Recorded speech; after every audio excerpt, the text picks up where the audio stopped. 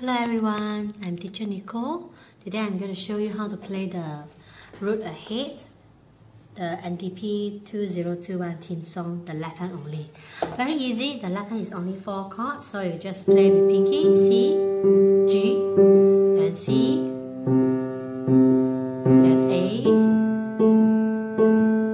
then D. Now I suggest you to sing along first, you can do like that. One man on an island, one drop in the sea. All it takes to set a wave in motion is a single